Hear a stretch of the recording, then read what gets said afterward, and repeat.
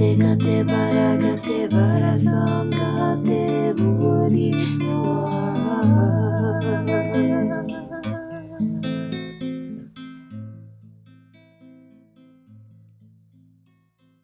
Nam mô A Di Đà Phật. Con kính chào chư vị thiền hữu tri thức.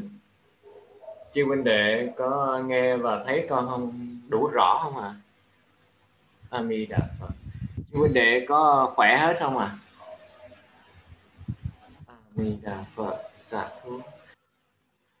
Chúng ta sẽ học về à, cái sự nhiệm màu của thần chú và cái phương pháp hành trì để sao mà cái sự nhiệm màu nó diễn ra dưới mình trong thần chú đại bi thì có 84 cái hóa thân của Đức Bồ Tát Quan Thế Âm nên mỗi khi mà chúng ta thọ trì, đọc mỗi một danh hiệu là có bấy nhiêu tương ứng với mỗi một vị hóa thân của Phật Bồ Tát Quan Thế Âm. Cho nên 84 vị sẽ vây quanh xung quanh cái không gian của chúng ta đang thọ trì nếu chúng ta nhất tâm và thành tâm. Cho nên cái sự nhiệm màu đó, nó không phải một cách ngẫu nhiên, mà đây là sự câu hữu năng lượng của rất nhiều Phật Bồ Tát khi mà chúng ta gọi thầy thích ngộ phương dạ con liền dạ khi mà chúng ta bắt đúng tần số, tự nhiên cái đài FM đó nó sẽ phát. Khi mà chúng ta ra đúng cái kênh, tự nhiên cái tivi đó nó có chương trình đọc. Khi mà người A nhìn ta bằng một ánh mắt sân hận, ta liền bất an. Khi người B nhìn ta bằng một ánh mắt thương yêu, âu yếm, ta liền an lành, hạnh phúc. Và khi ta thọ trì thần chú đại bi, tức là mật ngữ, tình thương không phải của phàm phu. Phàm phu nó cảm nhận được mà. Mật ngữ tình thương của Phật Bồ Tát, đây không phải là ái kiến bi, đây không phải là pháp duyên bi, mà đây là đại từ, đại bi của Phật Bồ Tát. Nên khi ta thọ trì thành chú đại bi, không phải tự nhiên, mà có sự màu nhiệm. Ở đó là ta đang kết nối với một cái chương trình TV cao cấp nhất của vũ trụ. Mà các cái kênh bình thường, bằng vật lý, không bắt được. Những người vô duyên, không có niềm tin, không bắt được. Và nếu khi mà thọ trì, tâm mà nghi ngờ, không bắt được. Và khi tâm mình bấn loạn, bất an, sợ hãi, không tụng được. Ngày hôm nay, tri huynh đệ có rất nhiều người đang thọ trì thần chú đại bi và tự nhiên điện cúp có phải vậy không? Có phải tự nhiên đang thọ trì thần chú đại bi rồi có người kêu mình, phải không? Mình phải đi lo cho gia đình, phải không? Không thể ngồi yên đó mà kết nối được một cách miên mật cho nên đây là những cái năng lượng rất đặc biệt vây xung quanh chúng ta. Nếu xung quanh chúng ta là thủ tướng, là chủ tịch, là bí thư, là chủ tịch quốc hội, vân vân, thì sao? Thì năng lượng của họ hỗ trì chúng ta rất tốt. Và họ là phàm phu mà chúng ta cũng cảm thấy rất là tuyệt vời. Huống hồ gì đây là những bậc thánh nhân, Phật Bồ Tát khi chúng ta thọ trì, liền lập tức đến. Vì sao? Đại từ đại bi, tầm thanh cứu khổ, tầm là tìm âm thanh. Âm thanh chúng ta gọi lên thì cái nguyện hạnh của một vị Bồ Tát, một vị Phật là hễ chúng sanh nào kêu gọi âm thanh của của ta thì ta sẽ ứng hiện ngay. Thì ví dụ như, đang đau khổ, con của một phàm phu tăng, cũng chưa chính thức là một người mà tu hành mà có cảm thấy dạng mãn nguyện, nhưng thấy cái đau khổ của chúng sanh con không muốn ngồi yên cho mình, nên tổ chức có tu như thế này. Thì chư huynh đệ cũng biết, một vị Phật Bồ Tát sẽ không bao giờ ngồi yên đó. Chư huynh đệ là cha, là mẹ, con mình khóc, lập tức lòng từ mình xuất hiện. Thì cũng giống như vậy, làm sao mà chúng sanh kêu mà Phật thương chúng sanh như mẹ thương con mà không xuất hiện? Cho nên lập tức, chư huynh đệ, lập tức, nếu mình nhất tâm, thì cái năng lượng của chư vị sẽ hiện tiền trong đạo tràng mà chúng ta thọ trì mà lập tức tai qua nạn khỏi. Mà điều này mình không thể lý giải được bằng cái kiến thức nhị nguyên khoa học cũng không chứng minh được. Cho nên đó mới gọi là sự nhiệm màu. Và mình nói là sự nhiệm màu đối với mình không hiểu thôi. 500 năm trước mà, mà ngộ phương để cái tay lên bức tường mà bấm một phát điện trong phòng nó sáng. Thì đó là gì? Nhiễm màu sao? Không. 500 năm sau ngày nay chuyện đó là điện bình thường ta hiểu ta nói chuyện bình thường. Nhân như vậy duy như vậy quả như vậy. Trăm năm trước mà cầm cái điện thoại lên mà gọi ta nói ta là ai? Thần thông rồi. Bây giờ chẳng có gì cả. Cho nên khi công đức, trí tuệ của chúng ta đạt đến cái mức độ hơn một chút với người bình thường, họ gọi ta là thần thông. Bấy nhiêu những vị thánh bồ tát, công đức vô lượng sẽ yểm trợ, sẽ che chở chúng ta khi chúng ta nhất tâm và thành tâm thọ trì. Thì chúng ta trước phải coi thử thần chú đại bi này là gì? Nó có cái nguồn gốc từ đâu? Nó ra đời lý do gì? À.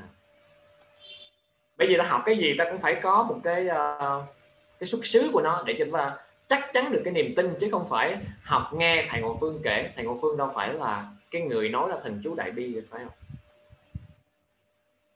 Bây giờ chư huynh đệ có biết được nguồn cội của thần chú đại bi từ đâu ra không từ chư Phật, chư Bồ Tát đã đành liền nhưng mà lịch sử của nó như thế nào? Chúng ta phải nắm ít nhiều để cái niềm tin chúng ta nó thực sự là vững chãi.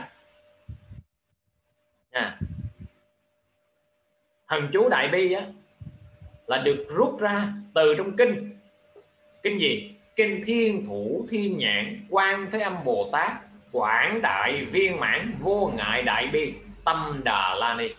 Nếu con nói xong cái dòng kinh đó chứ quan đệ nào thuộc lòng nếu có là chấn động từng vô số kiếp đã thọ trì. Con nhắc lại cái tên kinh này. Khi nghe một cái gì đó mà mình chấn động, ví dụ như nghe, thiền sư thích nhất hạnh, niềm tin của chúng ta là khác với một vị tăng vô danh nào đó chứ? Phải không? Nghe một cái gì chấn động là ta biết ta có thiện căn phước đức nhân duyên, nhiều đời tu mật, ba la mật với cái cái tên đó, cái vị đó thần chú đại bi được rút ra từ kinh thiên thủ thiên nhãn ngàn tay ngàn mắt quán thế âm bồ tát. Bồ tát quán thế âm. Quảng đại viên mãn rộng lớn tròn đầy. Vô ngại không có chướng ngại. Đại bi vì không có chướng ngại nên có lòng từ lớn lòng từ lớn. Tâm đà la ni là mật ngữ từ trong tâm.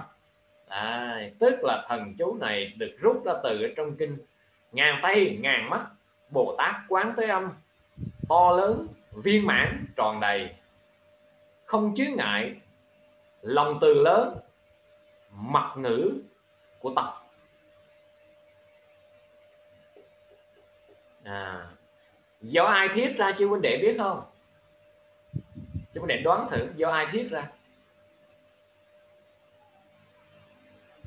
Dạ kính thưa chư huynh đệ do chính đức Sakya Muni. Phật Như Lai tức là Đức Bổn Sư Thích Ca Mâu Ni Phật của chúng ta thiệt, tức là Đức Bổn Sư Mâu Ni Thích Ca Mâu Ni Phật là Đức Phật lịch sử.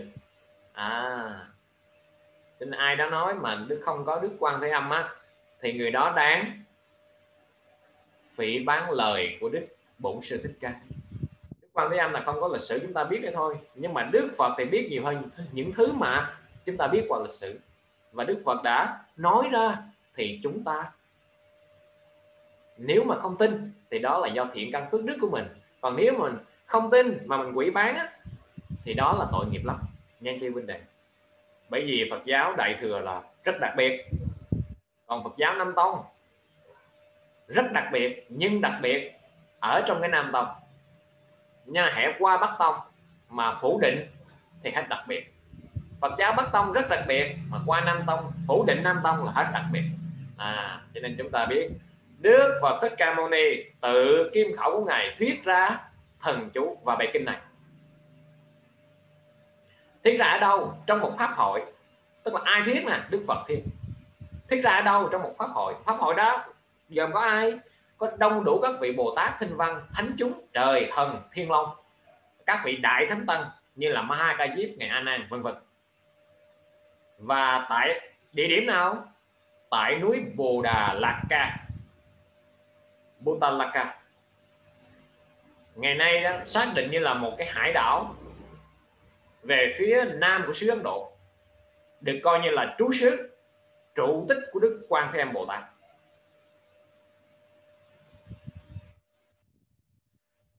Ta có thể tin chắc điều đó, bởi vì kinh thiên thủ thiên nhãn bắt đầu với câu nói quen thuộc của ngài Anna là như vậy tôi nghe. Tức là tất cả các kinh đều được Đức Anna nói lại, và kinh này cũng không ngoại lệ. Cho nên niềm tin của chúng ta đặt vào là điều hiển nhiên, dễ hiểu. Và nội dung ở trong cái pháp hội này á, là đức quan thế âm chi huynh đệ đức quan thế âm. Vì cái gì? Vì danh hả? Vì lợi? Vì tình? Vì nhà cao cửa rộng? Vì vợ đẹp con ngoan? Vì cao lương mấy vị? Vì cái gì xuất hiện ra đây nói? Dạ không. Tất cả không có một cái gì cả. Ngoài vì lòng đại từ bi đối với đối với ai? Đối với thầy Ngọc Phương thôi hả? Hay là đối với uh, Quy Nguyễn thôi? Dạ thưa đối với tất cả chúng sinh à. 8 tỷ người mà mình thương có một người thì không đó đó không phải là thương, đó là dính mắt. Đó không phải là từ bi, đó là ai dục. Cho nên đức quan thấy không tâm đại từ bi với ai? Với tất cả chúng sinh. Tại sao? Vì chúng sinh đau khổ. Mình thương người khổ, còn đây mình hưởng thụ có kẻ lạc thú. Tình thương của mình mà tổn thương là bởi vì mình chưa có thật sự thương. Trong tim mình có tình thương, mình không có tổn thương. Mình tổn thương là bởi vì mình lầm lẫn cái sự hưởng thụ cái điểm tốt, cái điểm lạc thú của người ta. Và mình nghĩ rằng mình thương họ. Thử, họ không làm cho mình thỏa mãn, mình sẽ bị tổn thương. Nên phân biệt cho rõ giữa cái ái kiến bi của chúng sinh, tức là cái lòng thương dựa trên cái kiến sai lầm, nhân, ngã, bỉ, thử, đúng, sai, nam, nữ, giàu, nghèo, được, xấu đẹp xấu, già trẻ trước sau. Cái đó là xuất phát từ cái vô minh chấp vào cái thân kiến. Đây là ngã. Hãy có ngã thì tất có nhân. Hãy có ngã, tất có nam. Hãy có nam, tất có nữ. Hãy nam, nữ, tất có bị thử đúng sai. Từ đó mà luân hồi sinh tử, triền miên, bất tận. Và đây, vị Phật thương một chúng sanh. Là bởi vì chúng sanh ở đau khổ. Thì thử có học thử hỏi vậy vì Phật đó có đau khổ với khổ chúng sanh không? Dạ không. Chúng ta khổ bởi vì chúng ta sợ mất ta chưa bao giờ khổ bởi vì ta thấy người thương của mình khổ. Cụ thể, mẹ mình mất, mình khóc. Mình khóc là bởi vì mì, vì mình mất mẹ hay là bởi vì mình không biết mẹ mình đi từ cõi nào mình đau khổ cho mẹ mình? Mình ích kỷ bởi vì mình không còn bầu trời của tình thương che chở, chứ chưa bao giờ mình nghĩ tới rằng mẹ mình không biết về chốn nào. Cho nên nước mắt đó là nước mắt của sự ích kỷ, khóc cho người còn, chứ không phải khóc cho kẻ đi đến lúc mà người ta đã không biết mình đi về đâu mà mình cũng chưa bao giờ nghĩ đến cho họ nước mắt của chúng sanh vô cùng ích kỷ. Cái khóc đó không phải là cái khóc cao thượng. Thử hỏi thầy ơi lên chùa rồi thầy ơi à, coi thì có ngày chôn của cha con nó có rơi vào ngày tan tay hay là làm ăn thất bát không thầy? Nếu cha mình chết mà không cầu nguyện cho cha mình siêu sanh siêu sanh lên cái cõi an lành mà làm sao đó để làm ăn cho được bằng cái chỗ chết ngày chết cái chỗ chôn của cha mình. Thì thử nghĩ cái tình của thế gian dù là cha, mẹ, đứt ruột đẻ ra, có cao thượng lắm không chư vị? Chư huynh đệ dạ thưa không. Cho nên cái tình của thế gian, đó là tình ràng buộc, vị kỷ, đau khổ.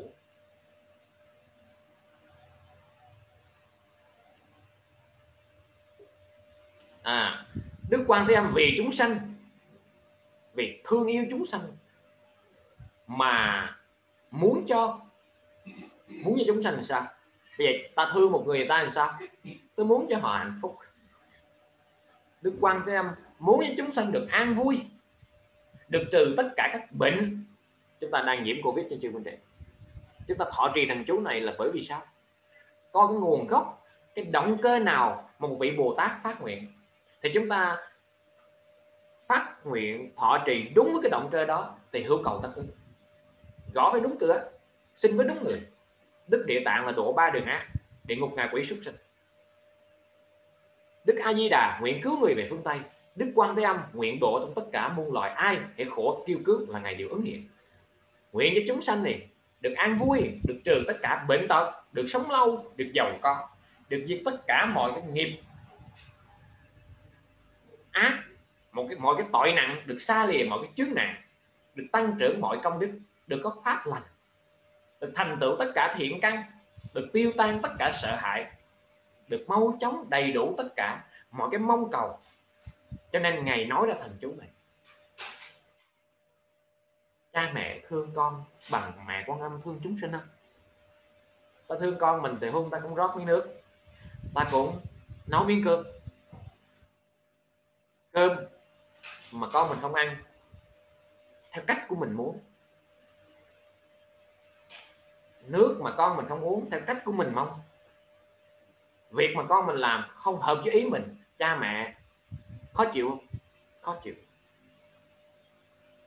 Và ta cũng mong gì? Qua cái thân chúng ta chưa bao giờ chăm sóc được cái tâm của người khác.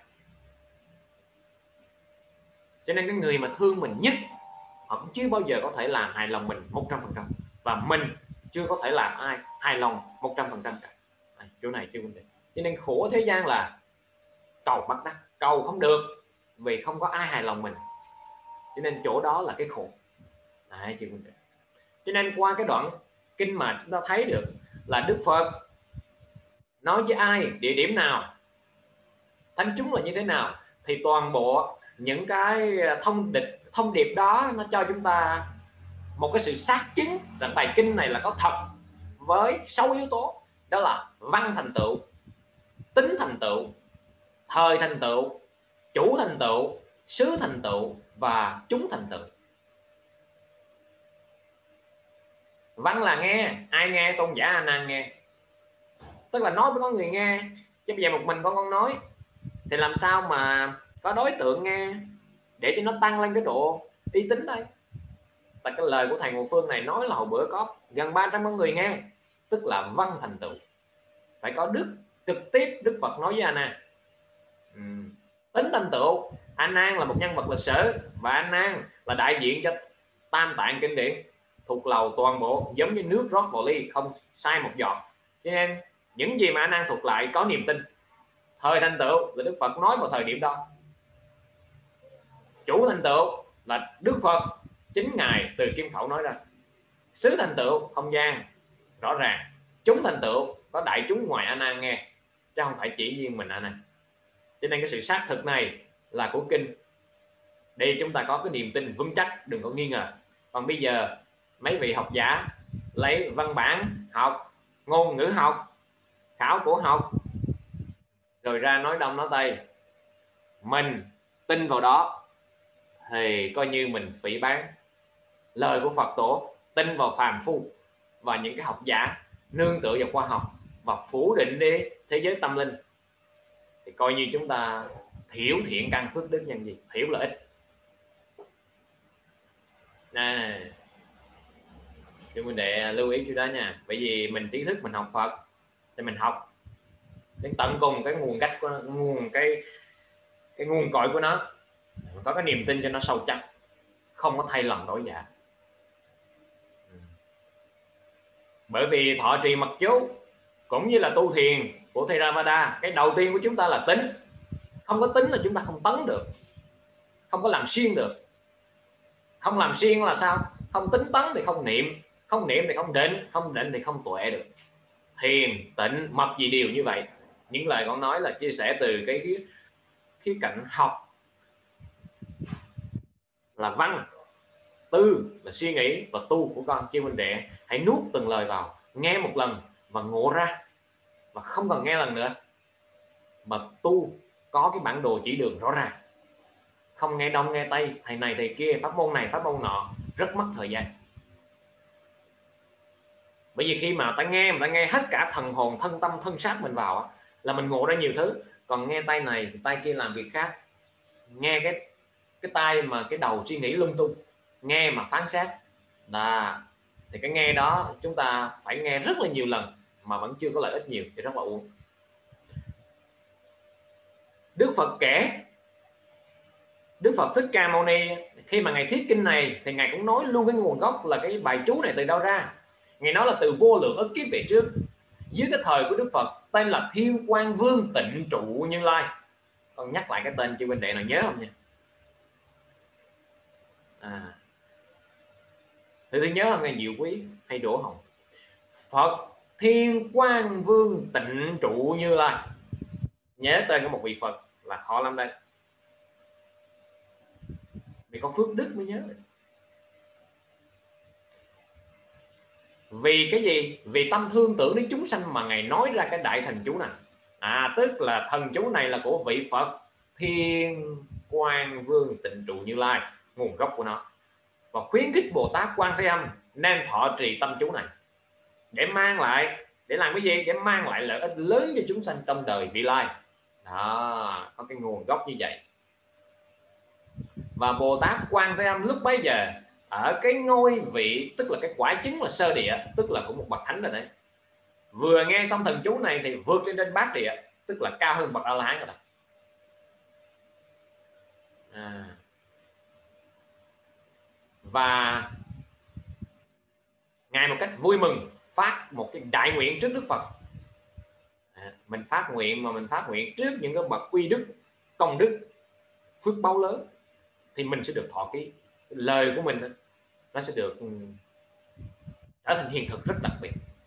Với một con người với một thời điểm với một không gian phát một lời nguyện thì lời nguyện đó có một sức nặng đặc biệt. Ví dụ vào thời khoảnh khắc giao thừa chúng ta phát nguyện và mùng 1 giờ sáng chúng ta phát nguyện. Vân vân là chúng ta thề thốt vào những cái thời điểm những cái địa điểm mà linh thiêng coi chừng chúng ta cũng rất là nguy hiểm đến sinh mệnh của mình. Ngài phát nguyện thế nào? Nếu trong đời vị lai à, con có thể làm lợi ích an vui cho tất cả chúng sanh với thần chú này thì xin ngay lập tức khiến cho con liền được sinh ra ngàn tay ngàn mắt.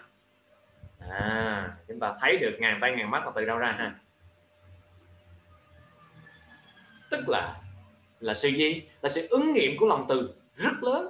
Ngài muốn làm lợi ích và nếu mà thực sự điều đó chứng nghiệm, thì lợi ích của thần chú này là có thật.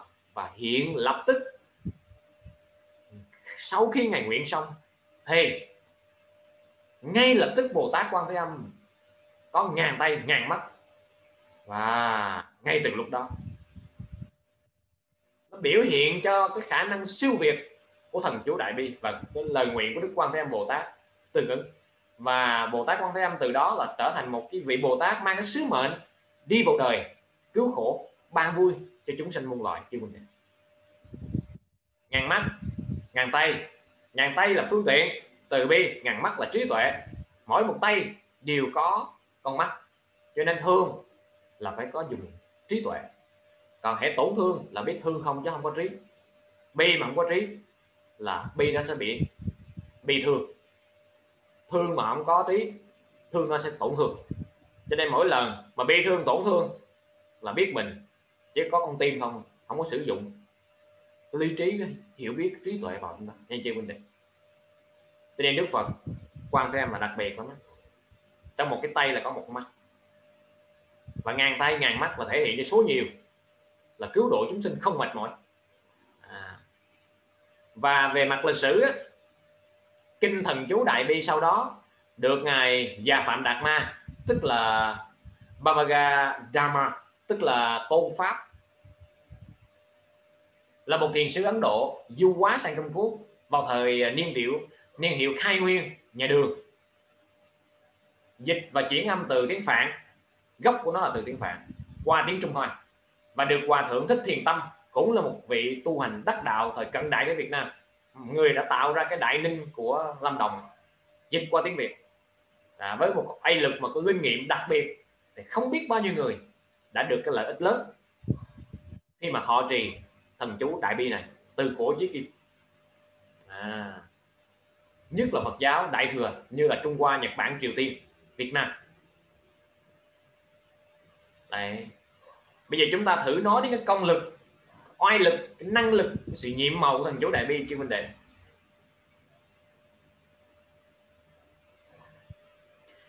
thỉnh chưa minh đệ thẳng lưng và hít sâu.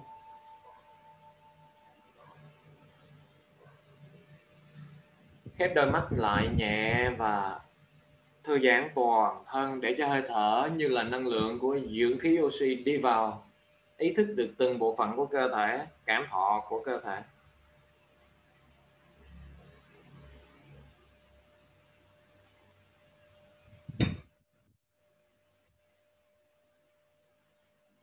Chúng ta sẽ không còn sợ hãi nhiều. Nếu chúng ta mang cái dương tính mà có một niềm tin sâu chắc, chúng ta có một chỗ dựa tinh thần đặc biệt, thì đó là một phước báo rất lớn.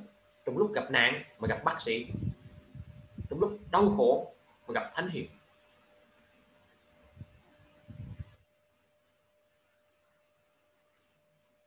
Để hiểu được cái công năng quay lực đặc biệt của thần chú đại bi thì ta tìm hiểu được cái hạnh nguyện của đức bồ tát quan thế âm khi mà ngài nói thần chú này thì ngài phát cái nguyện gì? Đức quan thế âm bồ tát kính chư huynh đệ đã phát cái nguyện rằng nếu chúng sinh nào mà thọ trì thần chú đại bi mà còn bị đọa vào ba đường ác, địa ngục, ngạ quỷ, súc sinh, không được sanh lên các cõi phật không được vô lượng tam muội biện tài, thì ngài thề không thành chánh đẳng chánh giác. Và đức phật quan thế âm đã là một vị của phật.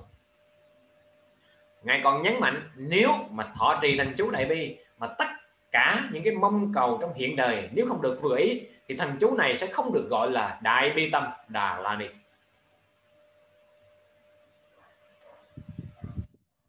Bây giờ con chưa dám thề thốt, chưa vấn đề công đức con chưa đủ thì không lẽ một vị phật?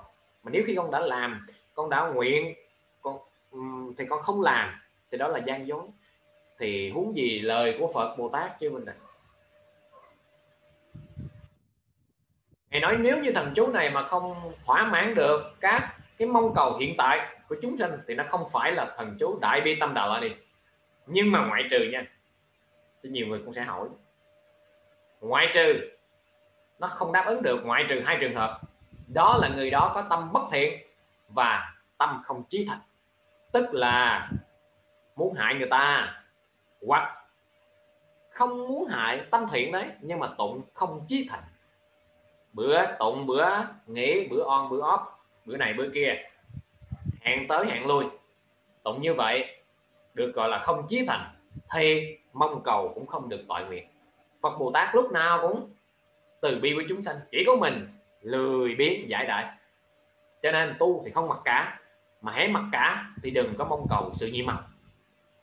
Bởi vì sự nhiệm màu với sự mặc cả là một bên đạo, một bên đời, một bên phàm, một bên thánh. Ta không thể có cả hai, nước chứ lửa, có một cái thôi.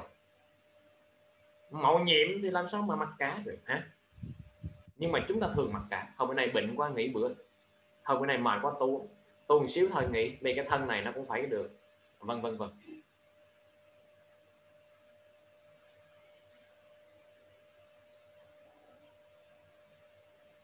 Và hơn thế nữa, chư huynh đệ Bồ Tát, quan tâm còn, cho chúng ta một cái niềm tin vững chắc là nếu mà ai đã là con người nhân vô thập toàn thì chắc chắn cũng có điều sai. Nếu ít phạm và những cái nghiệp ác nặng nề như là thập ác, ngũ nghịch, phỉ bán phá giới, phạm trai, bất hiếu, ăn cắp của thường trụ tam bảo, trộm của tăng kỳ làm nhơ hạnh của người tu hành mà biết sám hối hối lỗi. Thọ trì thần chú đại bi này thì đều được tiêu trừ. Ngài nói thêm, vì sao thế? Vì kinh đại bi mà chúng ta hành trì này là nhờ công đức không phải của một vị Phật mà vô số chư Phật hộ trì. Cho nên tất cả những cái tội chướng ấy của chúng ta đều được cái ân đức to lớn của chư Phật che chở. Và chúng ta thức tỉnh cho nên hạt giống mà không còn nước phân cần chăm sóc thì nó sẽ bị tiêu diệt. Chứ không phải không có nhân quả trong này chưa à. Tóm lại, quay lực to lớn của thần chú đại bi.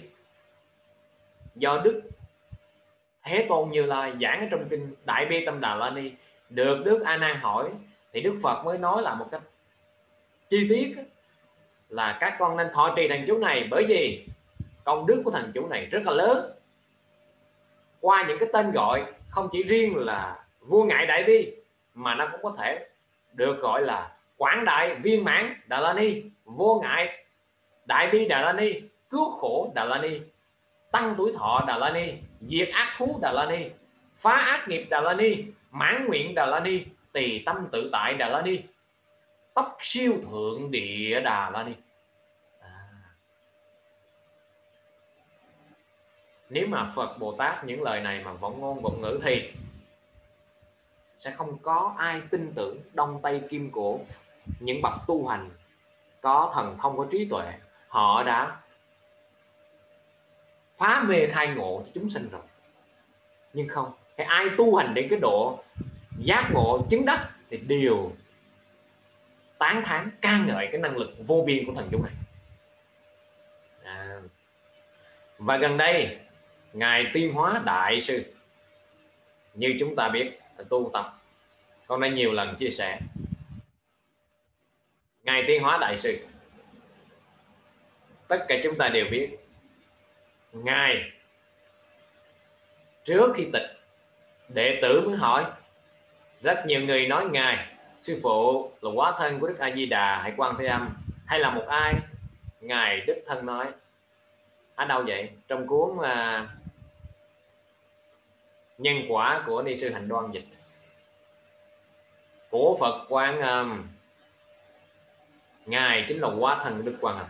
Đặc biệt đặc biệt. Mô nhiệm mộng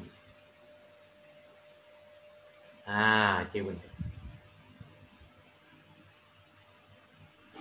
thì đó thật là tuyệt vời. Ngài tiến hóa thượng nhân có dạy bốn câu kệ miêu tả toàn bộ cái ích lợi màu nhiệm của thần chú đại bi. Đại bi, đại chú, thông thiên địa.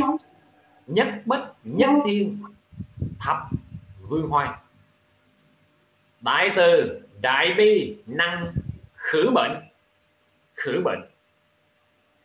Nguyệt kính, nhất chiếu, biến, cao quyền dịch thoáng nghĩa là thần chú đại bi có công năng thông cả thiên địa, thấu cả đất trời. Trên thì tới thiên đường, dưới thì tới địa phủ.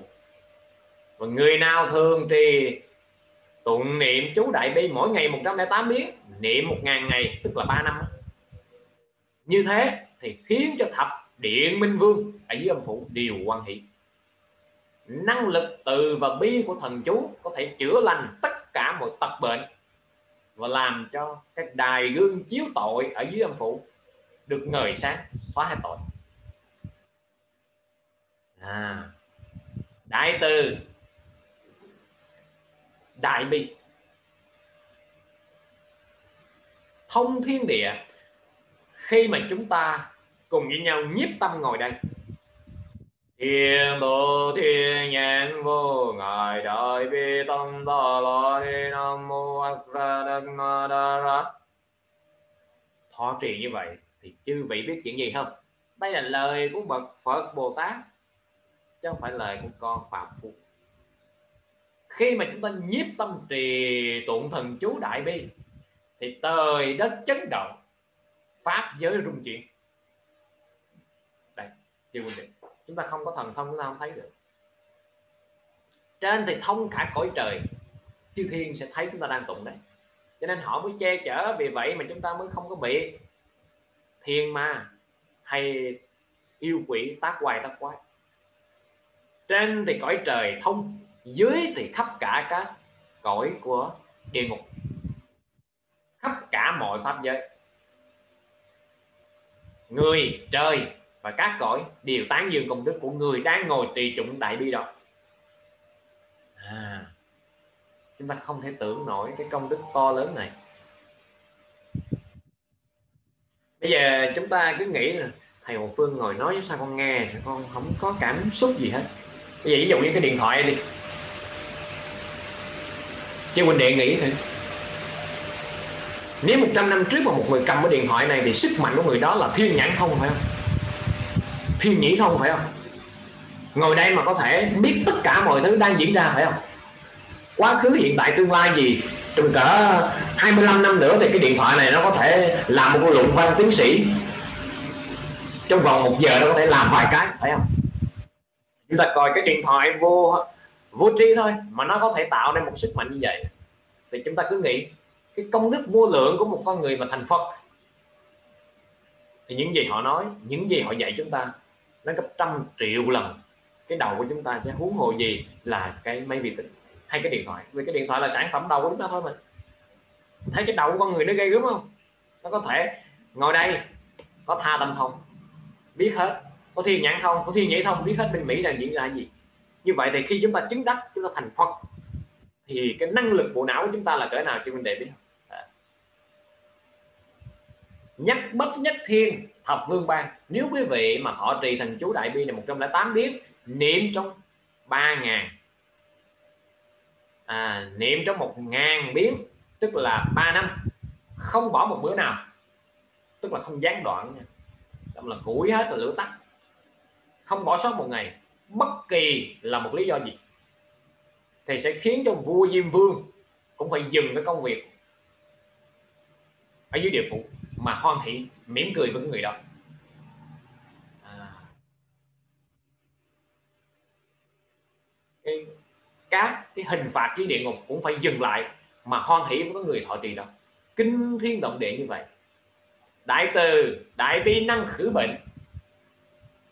Tại sao thần chú này có thể tiêu trừ tất cả các loại bệnh ngay cả covid dương tính này?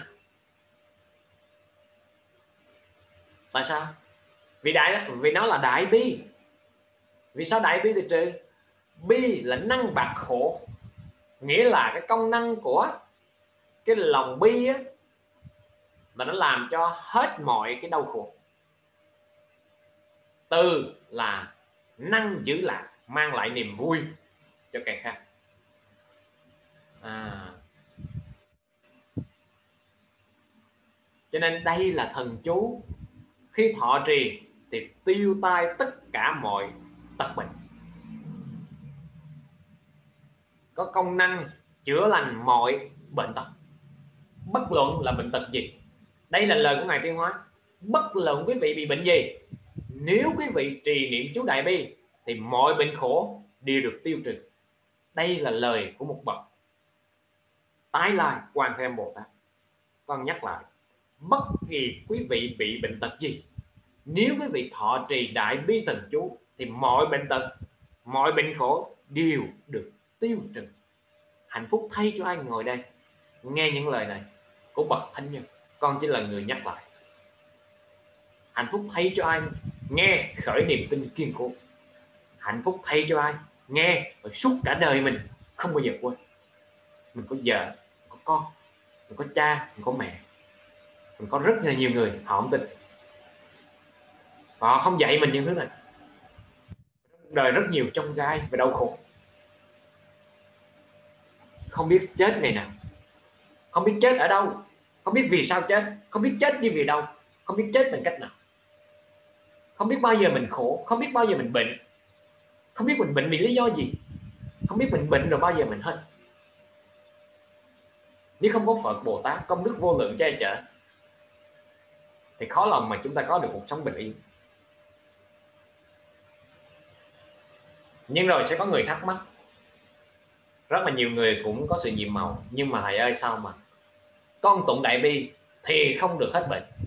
Ngài tiến hóa trả lời này quý vị thọ trì đại bi mà không hết bệnh là bởi vì quý vị thọ trì chưa hết lòng.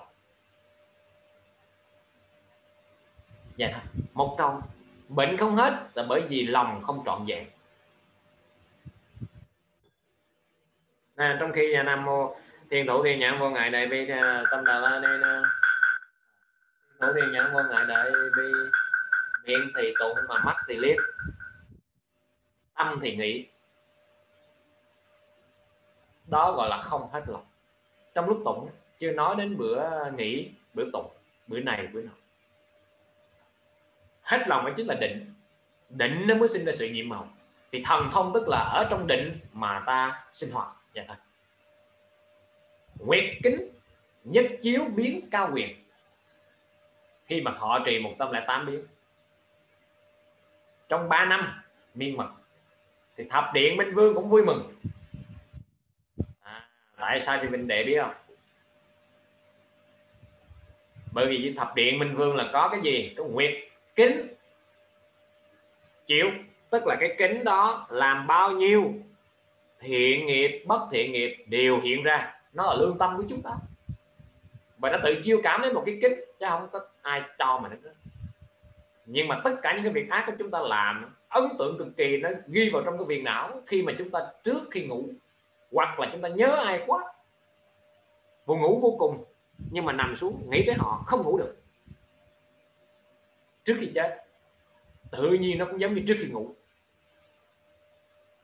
Thử quan sát tâm của mình trước khi ngủ là mình sẽ biết trước khi chết mình đi về đâu đấy. Mình thương một người nào đó quá, trước khi nhắm mắt mình sẽ nghĩ tới họ trước. Giống như là mình thương một người nào đó quá, ngủ dậy mình liền cầm điện thoại, coi tin nhắn của họ trước.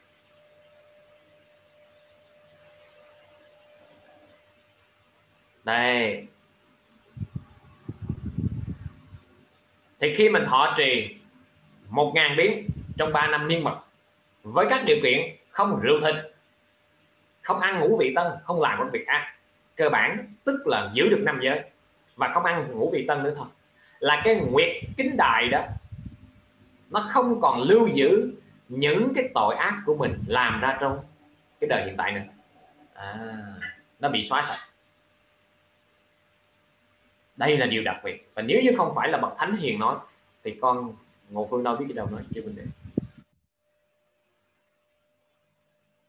chúng ta, ai? Phạm phu cũng đều tạo tội, may mắn chứ Phật Bồ Tát. Có một phương tiện để chúng ta xóa sạch cái tội của mình. Nếu mình đốt nhà người ta, thì xuống đó, cái kính nó sẽ hiện ra mình đốt nhà.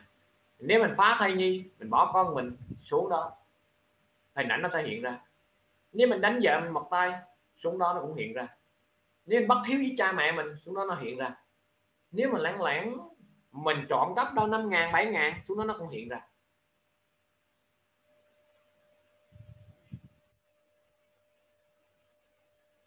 Và khi mình thọ trì thần chú đại bi trong 3 năm, thì cái nguyệt kính đài đó, nó không còn soi chiếu tội lỗi nữa.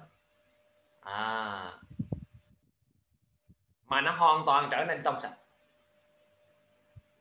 và ở trên cái kính đó nó có cái dòng chữ, người này đã từng trì trụng chú đại bi, tội báo của người này đã được quá giải toàn bộ.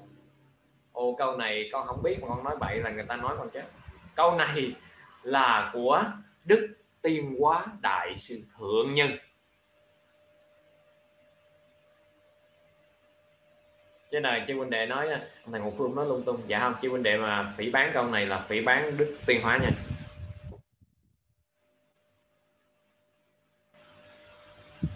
Và khi mà người đó đã có thể thọ trì 3 năm như vậy thôi thì tất cả chư quỷ thần trong địa ngục đều cúi đầu sùng bái kính lễ người đó như là kính lễ mười phương chư Phật ba đời quá khứ, hiện tại, vị lai. Đồng thời quỷ thần đó sẽ hỗ trì người đó.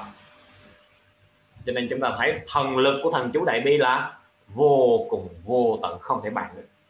Rồi, bây giờ chúng ta nói đến cái cách thọ trì thần chú. Làm sao cho chúng ta đạt được cái kết quả mà trong kinh Phật nói nó màu nhiệm đến như vậy.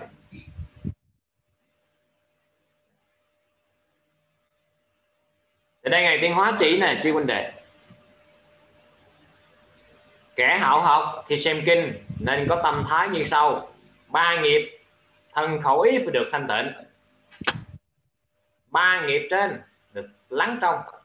Trí huệ tròn đầy các cái à, cách thì chúng ta phải rõ ràng. Thứ nhất là nên thắng mình, ngồi ngay như là tướng của đức phật. Đó là thân nghiệp thanh tịnh. Miệng không nói lời thị phi sai trái, cười đùa, khẩu thanh tịnh. Ý không tán loạn, dứt sạch mọi phan duyên, vọng tưởng. Đó, ý nghiệp thanh tịnh. À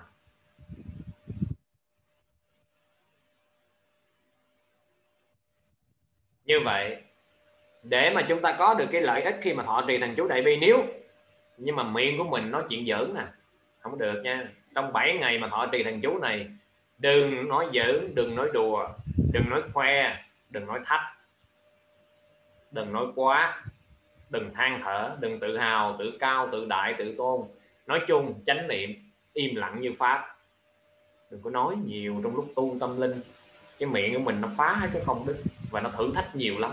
Nói ra là chướng duyên nó đến chứ kêu vấn nha, cho nên con dặn ngay từ đầu rồi. Ai hỏi, làm gì mà cứ lủi lủi lủi lên ờ, ngồi lâm dâm lâm dâm hoài vậy?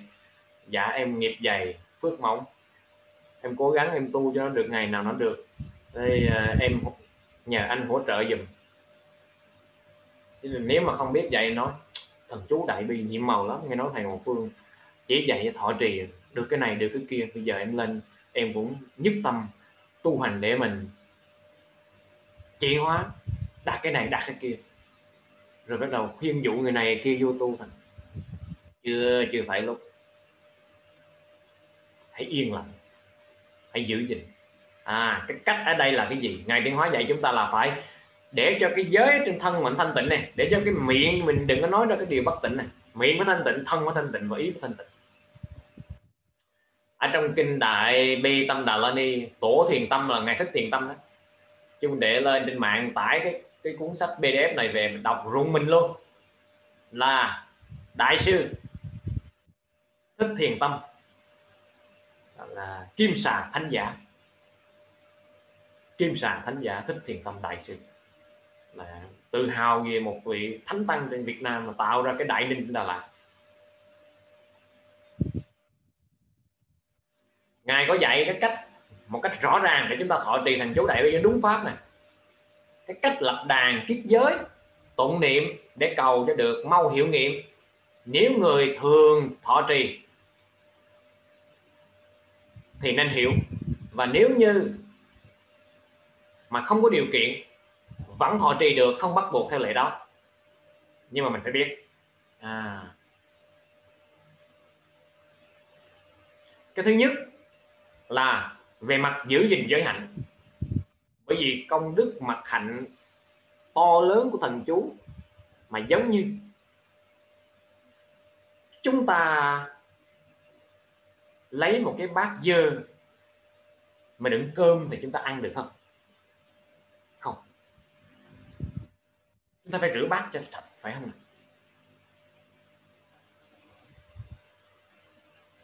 cũng giống như vậy. Để chuẩn bị thọ nhận được cái công đức vô lượng thì cái người mà thọ nhận phải xứng đáng.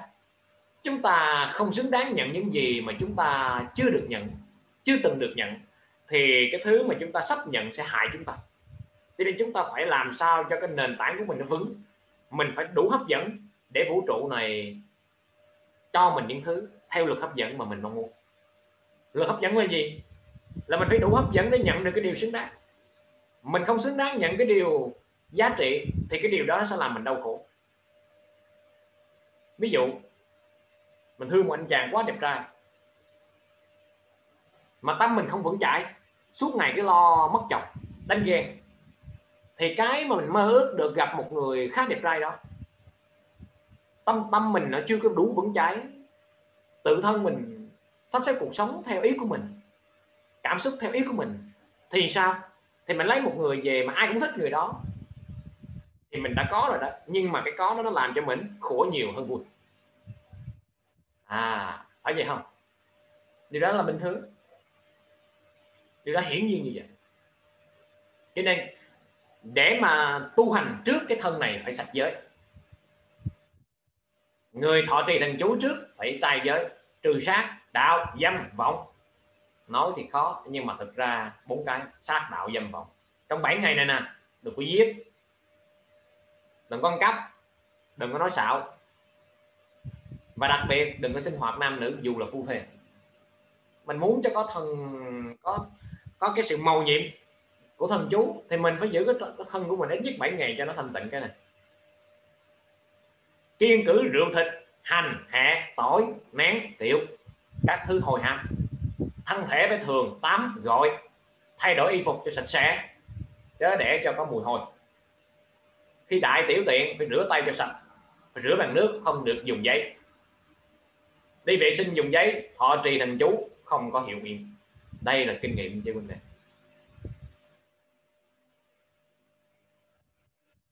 và trước khi thọ trì đàn chú, phải xúc miệng. Nhất định phải như vậy. Trong khi thọ trì thần chú, miệng không được nói hí hai hở hí hước, tạp nhạp, cười đùa. Cái gì không cần đừng nói. Nói chính xác, nói đừng có tạo ra bất mãn. Không nên khởi cái tâm giận hờn, đố kỵ. Không khởi cái tâm tham ăn tham ngủ, tham dục. Phải giữ cái lòng thanh tịnh, giữ cái tâm tịnh tưởng, giữ cái lòng cao thượng. Thì mình mới ờ, đang phát ra những cái tần sóng năng lượng tương ứng với Phật Bồ Tát. Thì cái sự màu nhiệm nó diễn ra. Nó giống như gọi điện đúng số thì nó reo máy bên kia thôi à là chị Quỳnh Đề hiểu nha. Sao mà mấy ông thầy tu ông ngồi ca ngợi thần chú của Phật quá chừng? Sao mình cũng thấy vậy? Mê tín dị đoan không? Đúng rồi anh sáng thịt chiều thịt, tối gái, ăn uống, ngủ nghỉ, đời sống không gì khác ngoài ngũ dục. Tần số năng lượng của anh buồn, vui, giận, sân, tức, lo sợ, đố kỵ, ghen hờn. Thì cái năng lượng anh phát ra là tần số gì? Toàn là tần số phá hủy không? Làm sao mà nó tương ứng với những cái tần số cao thượng, tịnh tưởng của chư Phật Bồ Tát? Về cái mối quan hệ mình là ai thì mình bắt máy mình gọi chúng người đó thôi. Mối quan hệ của mình là ai? Nó là nó biểu hiện từ cái năng lượng nội tâm của mình. Này. Thì mấy ông thầy tu mà chân chính, thì mối quan hệ của mấy ông là ai?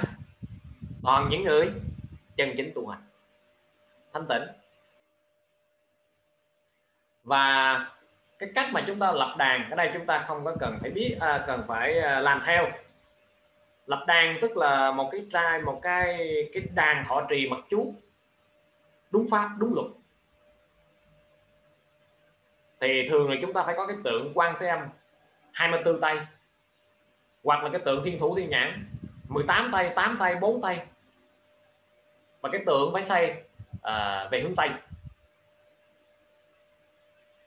à, tại sao vậy chứ anh đệ biết không? Vì đức quan thế âm là ngự ở tây phương cực lạc.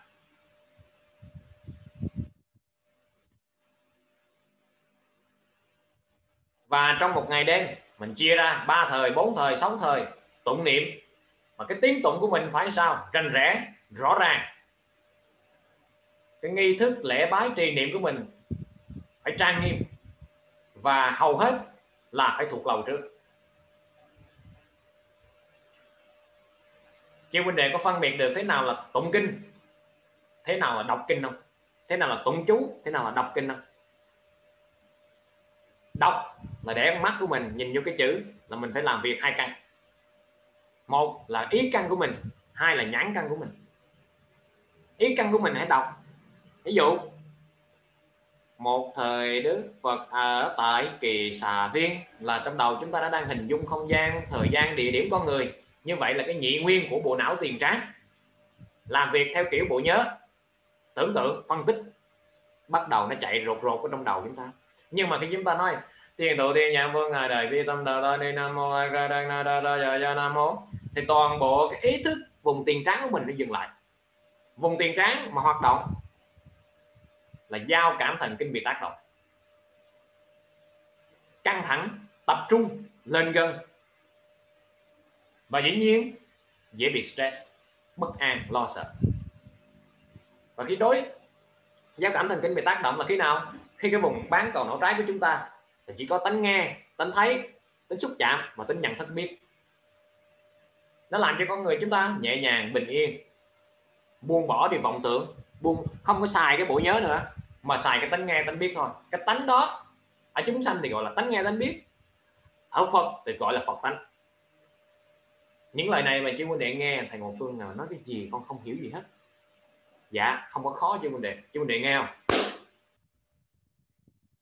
Nghe. Cái âm thanh này, con nghe. Gần 300 con người này nghe cái âm thanh nó giống nhau. Có cần suy nghĩ về âm thanh không? Không. Cho nên khi mà chúng ta là hum đi về mê hum cấu trúc của chữ o, mở ra là dương, khép lại, u và đóng luôn em. Thì ba âm này, a, u em là ba âm mà không có dùng cái lưỡi. Người câm có thể nói ba âm này. Ngoài ba âm này, người câm không nói được âm nào khác. Và cái lưỡi nó chỉ ghép các cái âm còn lại để nó tạo ra ngôn ngữ. Ngôn ngữ tạo ra ngữ nghĩa. Và ngữ nghĩa do cái bộ não tiền trắng của mình, nó phân tích, nó phải có đúng, sai, hay, dở, được, mất. Nó phải lưu giữ cái ký ức và cái thông tin thì nó mới thể hoạt động cho nên một người mất trí nhớ người ta không thể suy nghĩ. Đứa bé thơ không thể suy nghĩ. Và bây giờ chúng ta tin là suy nghĩ là chúng ta cho nên ai thấy là for em ta nghĩ rằng ta nghĩ nên ta là nhưng thực chất ta là rồi ta mới suy nghĩ chứ. Khi mà mình nói cái âm thanh um, thì đó là âm thanh của vũ trụ. Thần chú thì không thể được hiểu. Hiểu là chỉ hiểu những thứ được lưu nhớ lưu giữ trong bộ nhớ những thứ được phân tích. Còn khi mình tụng uh, là từ dưới rốn mình, nguyệt đan điền, ba lông tay. Ở đó 72.000 cái chakra tức là cái luân xài gặp nhau ở chỗ đó. Đông tây kim cổ gì khẽ mà chúng ta, nội quan phản chiếu, chúng ta sẽ thấy được cái cơ thể này. Nó có một cái bộ máy phức tạp, tối tăng hơn tất cả mọi cái bộ máy trên thế gian này. Cho nên yoga ta ngồi xuống ta cũng thấy dưới cái rốn này là đan điền. Nếu mà khí tụ đan điền thì bách bệnh sẽ được qua giải. Cho nên khi chúng ta ngồi tĩnh tâm xuống thì cái âm thanh um, là tất cả những bậc giác ngộ sẽ đều phát ra âm thanh đó. Chứ không phải tự nhiên mà thiên chúa họ cũng uh, mình hay bên hồi giáo họ cũng uh, mình bên tây tạng họ cũng um, hindu họ cũng um, phật giáo họ cũng um, và người câm họ cũng a à, u em và chỉ có những con người nào mà dùng cái lưỡi? À, Thì những con người đó đang ở trong, không phải là cái tánh nghe, biết kiến văn giác tri, mà đang ở trong cái nhị nguyên sanh tử đến đi được, mất thị phi phải không nhân à? Và khi mình không thể thoát ra khỏi nó, thì mình đang bị trói buộc, mình đang bị chìm đắm, và mình đang bị suy nghĩ, nó nghĩ qua cái con người mình. Sao con nói như vậy? Con nói như vậy là bởi vì giờ khi mình đệ thử, đừng có nghĩ tới con khỉ trong vòng 10 giây thử được không? Thử làm không được. Càng ép nó là nó càng nghĩ. Ghét của nào, trời trao của đó. Cho nên cái tâm của mình mà dùng cái vùng tiền tráng, chừng nào thì mình sẽ đau khổ bất an nhiều chừng đó cho nên chúng ta mới bắt đầu. À, từ cái chỗ đọc kinh là để hiểu để hành trì trong đời sống. Còn tụng chú là để dừng lại cái vùng tiền tráng không có suy nghĩ nữa. Tiền tụ thì nhà vô ngài đời bi tâm Đà la đi mà nếu chúng ta chưa thuộc thì chúng ta không thể nhiếp tâm được. Thế nên thọ trì thần chú là trước phải thuộc. Để tụng cho nó được hiệu quả. Thiên thụ thiên nhãn vô ngài đại bi tâm đà la ni. Nam mô A ra đây na ra ra ra ra nam. Đố mà chúng ta hiểu một cái suy nghĩ gì trong đó. Không có suy nghĩ nó dừng lại toàn bộ trong một hơi chúng ta tụng hoặc là ba hơi chúng ta tụng thì thường là hai, bốn hơi thì thường là hai phút. Trong hai phút đó, thử chưa huynh đệ ngồi hít vào thở ra mà đừng suy nghĩ về con khỉ thứ làm được không? Không được.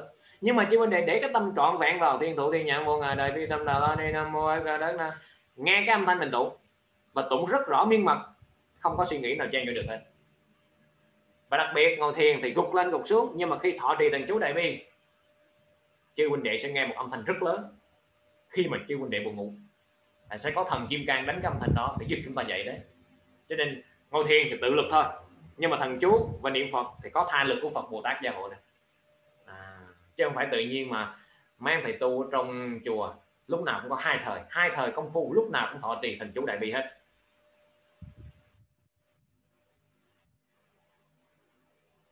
Cho nên chúng ta hiểu tại sao chúng ta phải tụng mà không phải đọc. Tụng khác đọc khác. Đọc là dùng vùng tiền tráng tốn là dùng bán cầu nổi trái đọc là để hiểu nghĩa, tốn là để dừng suy tư. Đọc là để chúng ta tư duy, nhận thức. Còn đọc là để tư duy, nhận thức. Còn tụng là để cảm nhận cái độ rung động của tiểu vũ trụ cơ thể này và làm một với cái đại vũ trụ. Ngôn ngữ hay là ngôn ngữ của Phật Bồ Tát là ngôn ngữ của vũ trụ còn ngôn ngữ của cái miệng, chúng sanh phàm phu là ngôn ngữ tư duy của nhị nguyên vô minh ái dục. Nam nữ đúng sai được mất hơn thua phải trái.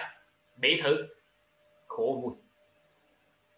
Cho nên khi mà chúng ta chỉ đọc cái miệng thôi, thì chúng ta không bao giờ hết khổ.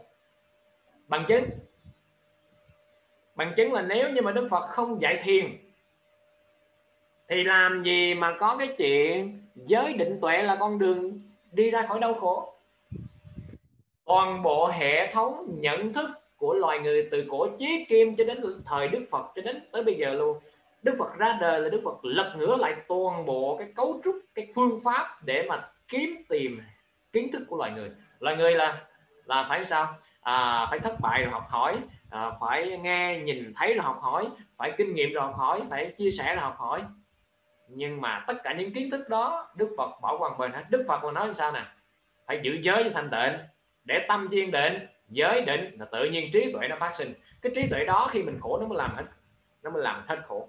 Còn bao nhiêu hiểu biết kiến thức của mình, dù là bách khoa, giống như Google, thì nó chỉ là cái máy. Hoặc dù là bác học, cái chừng vợ ông bỏ ông vẫn khổ như thường. Ông chết không ai đưa tiền, ông vẫn khổ như thường. Đụng tới cái tôi sĩ diện của ông vẫn tam bình lục tướng mà như thường. Thấy không? Nhà giàu vẫn khổ như thường, tiền nhiều vẫn khổ như thường. Cho nên rất là nhiều một số quý thầy nói rằng họ trì thần chú đại bi hay thọ trì thần chú nói chung là của ngoại đạo. Tu mà không hiểu. Lý do gì mà đức phật nói ehi basiko đến để thấy. Đức phật đâu có giấu giấu giếm gì mà tụng thần chú, không hiểu tụng chi. Kính thưa là sai rồi. Sai sao? Vì bên Theravada, chúng ta muốn giác ngộ thì không phải chúng ta ngồi đó đọc mà chúng ta sao? Giữ giới. Giới sao nữa? Còn thiền xuống. Còn thiền xuống xong rồi nhớ tất cả tam tạng kinh điển hả? Không. Vì sao vậy? Vì a nan nhớ hết mà ngày đâu giác ngộ. Phải sao? Phải để tâm vô cái gì? Để tâm vô niệm phật. Niệm phật xong cái hít thở. Hít thở xong cái quán casino cái gì á? Quán cái gì xong cái uh, quán thân bất tịnh. Quán tùm lum tù lu hết hả? Không. Phải để một cái đối tượng đề một thôi.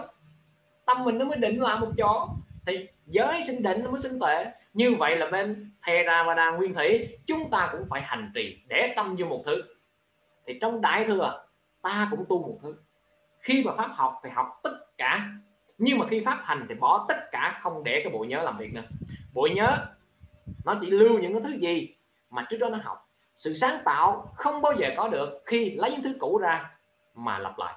Cho nên chúng ta khổ, không phải cuộc đời làm ta khổ mà ta khổ bởi vì những thứ ta nhớ. Nhớ người hôm qua ta thương và ngồi đây tiếc nói họ. Nhớ người hôm qua ta ghét ngồi đây khó chịu họ. Như vậy là cái bộ nhớ nó làm cho mình khó chịu, chứ không phải cuộc đời làm cho mình khó chịu. Như vậy bây giờ mình bỏ bộ nhớ đi đã thành một người mất trí nhớ hả? Dạ không. Chưa bao giờ một ai mà bỏ trí nhớ mà làm cho hết khổ cả. Bằng chứng, mấy đứa đi quán bar đó, mấy đứa đi uống rượu nó uống rượu xong rồi sao? Nó ngày càng khổ hơn đi quán bar rồi sao ngày càng khổ hơn? Cho nên một con người không phải làm cho mình hết khổ bằng cách làm cho các cái năng lực của mình nó trở thành cái à, lu mờ mà mình phải nâng cấp cái năng lực của mình để nó sáng suốt lên. Cho nên mình phải đọc kỹ hướng dẫn sử dụng trước khi dùng với những thứ mình có. Nếu mình có mà mình không có sử dụng nó được là bởi vì mình không có đọc kỹ hướng dẫn sử dụng thôi. Bây giờ mình có điện thoại nè mình không đọc kỹ hướng dẫn sử dụng nó thì mình dùng nó nay mai nó hư. Thì cái điện thoại với cái tâm mình cái nào phức tạp hơn? Vậy mà cái điện thoại mình đọc nhưng mà cái tâm mình không đọc à, mình đẻ ra là người ta dạy cho mình cách vô trong trường người ta dạy mình cách kiếm tiền cho nên chưa bao giờ dạy cho mình cách xử lý cảm xúc và suy tư. Cho đến khi mà mình già thì toàn bộ những gì mình lưu giữ trong bộ nhớ cuối cùng một người già ngồi xuống và nói chuyện lẩm bẩm. Cho nên rất là nhiều người già nói chuyện một mình và nói chuyện rất nhiều. Vì sao vậy? Cả một đời chúng ta không kiểm soát nổi cái thứ ở trong chúng ta. Thứ ở trong chúng ta mà làm ta khổ thì ta không cần ai là kẻ thù của mình cả. Thì ai đó làm mình khổ thì có lý là bởi vì mình không kiểm soát được. Nhưng mà cái thứ trong lòng mình nó làm cho mình khổ thì à, mình không được đổ thừa ai bởi vì mình kiểm soát mình không được. Dạ chi vấn đề cho nên ngồi thiền xuống hay là bất kiết già lại ngồi thọ trì thành chú đều là một thứ đó chính là pháp hành. À, pháp học là để tư duy. Tư duy là để có chánh kiến. Thực ra chỉ có chánh kiến đâu có chánh tư duy thôi. Xong là buông hết những cái bộ nhớ đó ra? Đây là những cái gì con hiểu con chia sẻ chi huynh đệ hành trì buông hết những cái bộ nhớ đó ra, rồi ngồi xuống. Một câu thần chú, một câu a di đà phật hay một hơi thở, thiền tịnh mật gì cuối cùng cũng phải định cái tâm lại, chứ không là vọng tưởng nó làm anh khổ. Định cái tâm lại cho rằng được thì nước trong nước trong thì tự nhiên nó soi chiếu lại những thứ trên bầu trời. Tâm mình mà thông suốt thì nhược tâm của mình mà thông suốt thì tự nhiên trí tuệ nó phát sinh. Cho nên vô ngôn thông, thiền sư, ngộ đạo khi mà nghe cái câu, tâm địa nhược không huệ nhược tự chiếu. À, mặt trời thì lúc nào cũng ở đó. Chứ có, có tội là đám mây của mình nó cứ lơ vơ vẫn vẫn mây gì? Mây tham sân si. Cho nên vấn đề là không phải biết thêm những đám mây tham sân si mà bỏ hết những đám mây tham sân si đó đi. Nhưng pháp học là để gì? Để mình phân biệt được đám mây nào là tham sân si. Đám mây nào tham đám mây nào sân đám mây nào si. Nhưng mà cuối cùng chỉ đi lấy cái đám mây tham sân si này học đám mây tham sân si kia kiến thức cuối cùng chỉ toàn bộ là làm cho cái tôi bản ngã mình lớn lên. Học biết rất nhiều, mà cái tôi bản ngã theo đó cũng lớn. Hai người nói vô ngã, nhưng mà lát nữa là sân lên. Nói vô ngã mà cuối cùng sân lên thì đó là bản ngã. Nên học nhiều mà không tu là có hại hơn nhiều mà tu không học. Ví dụ như à, một người không biết chữ, giống như ngày Hải Hiền, suốt một đời chỉ là nam mô a di đà phật, mà cuối cùng để lại cái thân kim cang bất hoại thì một người học rất là nhiều mà không hành trì, cuối cùng khổ vẫn hoàn khổ thì học đó là không phải học phật chị mình định. Học phật là để thành phật. Mà học không thành phật mà thành ma thì đó không phải học phật. Thành ma là sao? Mình khổ phiền não. Mà làm người khác phiền não khổ. Tôi nói sâu một chỗ nói chút là như vậy.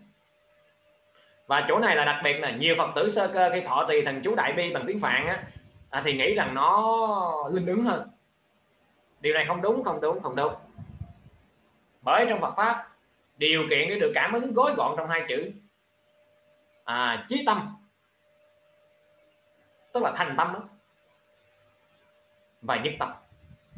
Thành tâm là ta không có nghi. Nhất tâm là ta không có vọng. Ta thành tâm rồi ta không có nghi ta mới thành tâm được chứ.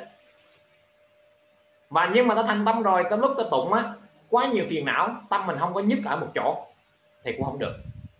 Đó, cho nên đối với Phật Bồ Tát Pháp chúng ta hành thì chúng ta không nghi. Nhưng mà đối với bản thân mình phải buông xuống cái vọng tưởng. Hai điều kiện này nó tạo ra cái sự màu nhiệm chứ không phải là ở cái tiếng Phạn hay tiếng Việt hay tiếng Hoa hay tiếng gì cả. Cho nên ai đó mà nghĩ cứ phải tiếng Phạn mới được thì cái suy nghĩ nào là sai. À, nhớ hai chữ thành tâm và nhất tâm.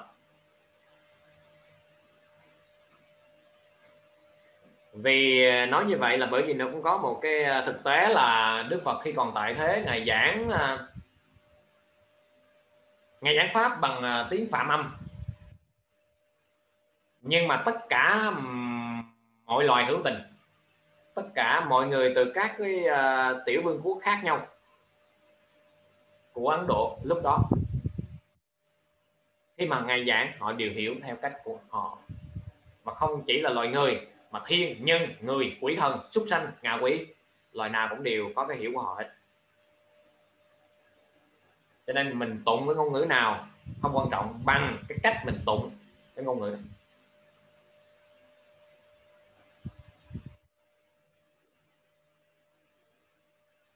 cái điều tối kỵ khi thọ trì thành chú là cái gì chứ mình để biết không? Đó là khởi cái tâm nghi ngờ, phân biệt hơn kém. À tôi tụng chú này nè, tụng cách này nè, tụng theo thầy này nè, tụng giờ này nè. So sánh với người này, so sánh với người kia, tự so sánh với mình, tự nghi ngờ, tự phân biệt là rồi trật quẹt. Đó là gì? Phạm vào cái chỗ gì? Không có. Không có thành tâm nghi ngờ. So sánh là nghi ngờ. À, không nghi ngờ so, so sánh gì thầy ơi tụng chú nào thầy ha? Con nghe nói chú này màu nhiệm hơn chú kia. Tâm nghi ngờ.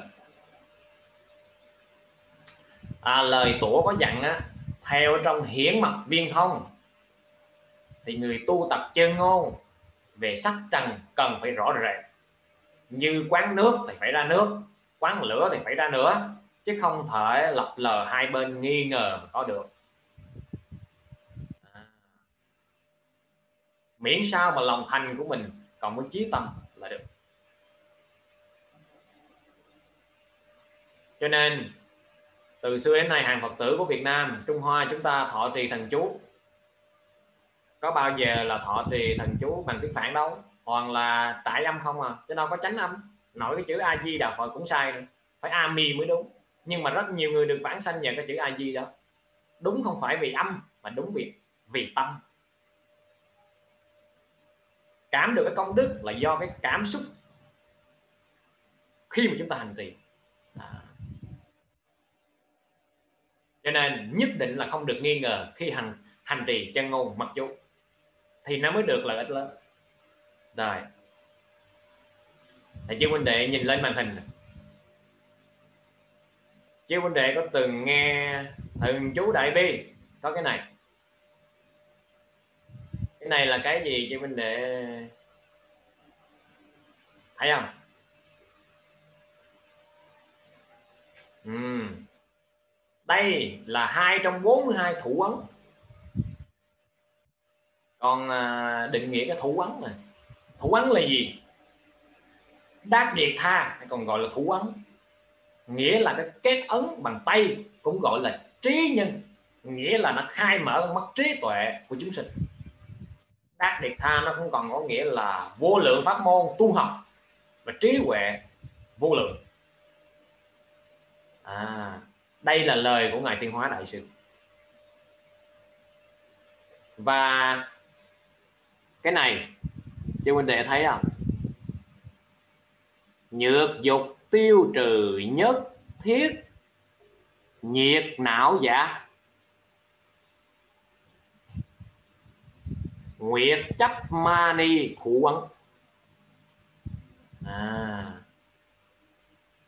Chứ huynh đệ, nếu mà có từng tu tập sâu sắc thì sẽ hiểu điều này.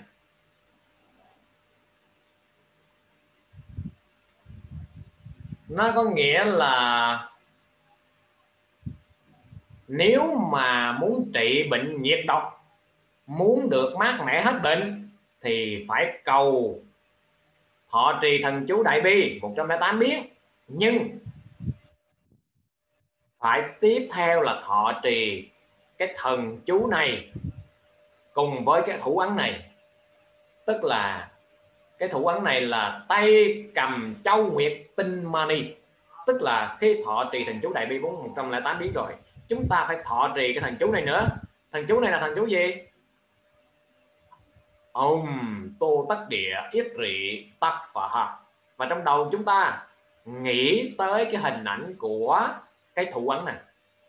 À 108 biến vừa tốn và vừa nghĩ tới cái thủ ấn này trong đầu. Còn cái này, nhược vi tiêu thân thượng chủng chủng bệnh ly giả. À tức là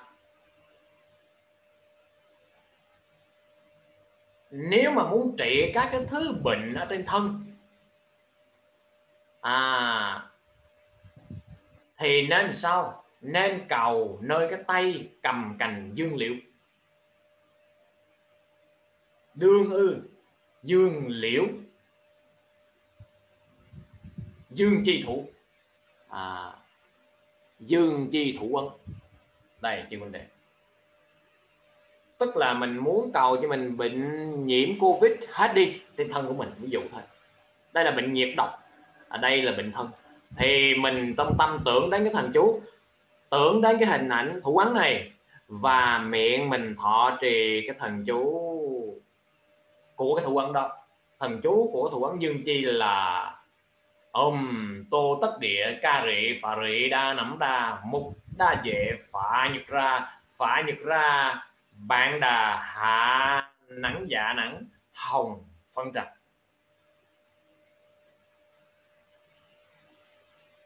Chị huynh đệ có biết thủ ấn nó có tới 42 và thủ ấn này nó bị thất truyền 300 năm. Ngài tiên hóa là quá thân của bồ tát quan âm mới được ngài bồ tát, một vị bồ tát tên chư thiên mới hạ xuống và truyền lại cái pháp này. Và chúng ta rất rất là nên biết thì thủ ấn là cái pháp dành cho không phải là phàm phu, mà bậc thượng căn cơ. À, Tứ thập nhị thủ nhãn 42 nó ở trong kinh đại bi tâm lạ liên.